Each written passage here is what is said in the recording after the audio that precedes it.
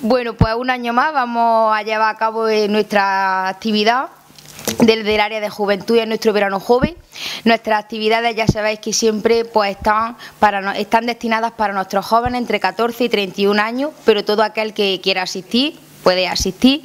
Este año hay que destacar que hemos incluido dos nuevas actividades las cuales son mm, el reclamo que nuestros jóvenes durante este año pues no han querido hacer saber y son una fiesta del agua que es la, novedad que tendremos este año, y una clausura que será una fiesta de colores. Son las dos nuevas actividades que este año se, se incluyen en este verano joven.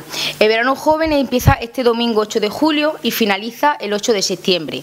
Durante estos dos meses tendremos pues diferentes actividades, las cuales pues en diferentes puntos de, este ayuntamiento, tanto en el Pósito como en el área de juventud, en este ayuntamiento calle Hernán Cortés y en el área de, juventud situada en el lugarillo, podréis mm, recoger este distrito donde viene toda la información de las actividades que se llevarán a cabo.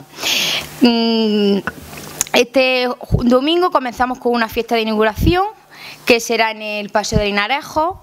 Contaremos un año más con el, con el cine de verano, que será en los multicines Bowling con películas actualmente de, estreno. Ya sabéis que para asistir al cine tenéis que, pasar por el área de juventud y recoger vuestras entradas. Son totalmente gratuitas, son para jóvenes entre 14 y 31 años, se dan dos por persona y todo aquel que quiera recoger una entrada tiene que pasar con su DNI o su carnet joven.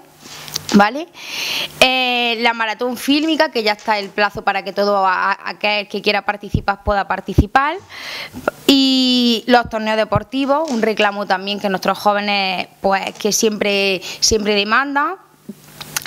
Eh, la fiesta del agua, que será el día 22 en el campo de Linarejo, ¿vale?